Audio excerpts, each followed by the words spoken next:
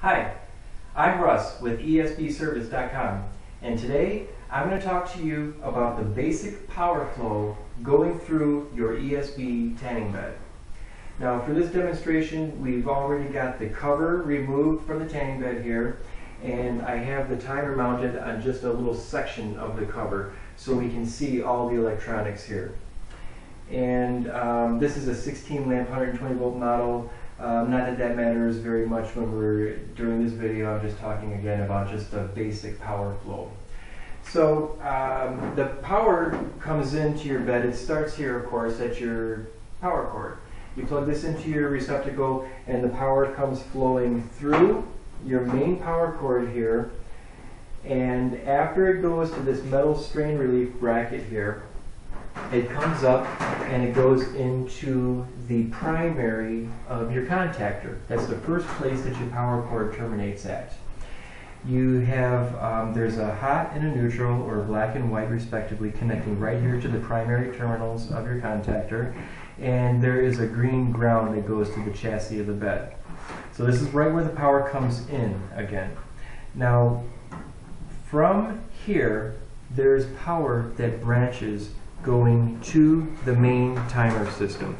Here is a hot and a neutral coming right off of the same spot that the hot and the neutral are coming from the main power cord coming in and these are branching over here to provide the hot and neutral, basically the power to the main timer.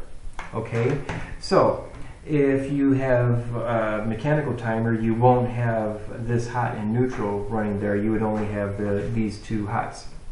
But basically, you have constant hot from the primary side of your contactor coming up to provide power to your timer. Okay, so once your timer is engaged by starting it and the display is on and it's counting down, what happens is your relay on your timer closes. When this relay closes, one of these wires comes back to the primary of the contactor and is constantly hot.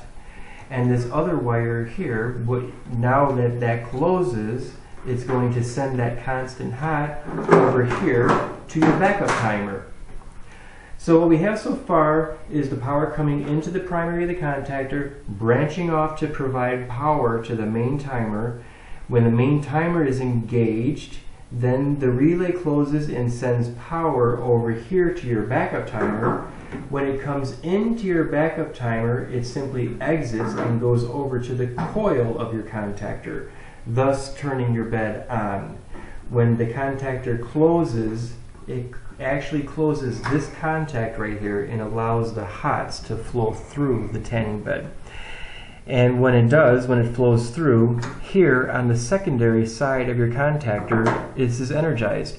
And um, that means that the ballasts and your fans get power.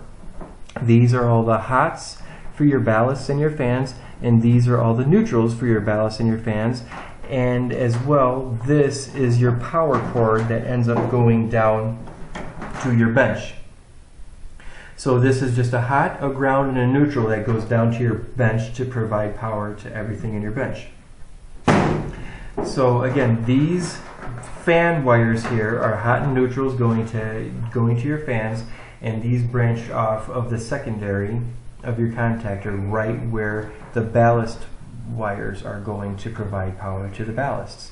And of course, when the ballasts get power, then they send power out on these wires going to your lamp holder sockets to energize your lamps. And that is the whole basic power flow of your ESB tanning bed.